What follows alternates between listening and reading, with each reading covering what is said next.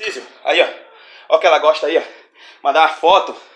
Mandar foto pra Djalma. Os caras tudo. Mandar foto. O colega me mandou aqui agora, velho, da Liberdade aí, ó. Pegou a, a mulher dele com esse vibrador aí, fazendo chamada de vídeo com outro homem. Maior onda, velho. Na Liberdade aí, vai estourar, velho.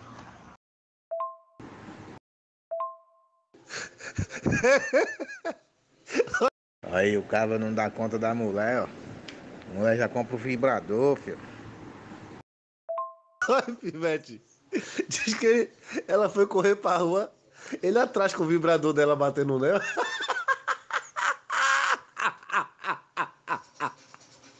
Foi mó resenha, Pivete. É porque esse vídeo acho que ela não quer mandar, não.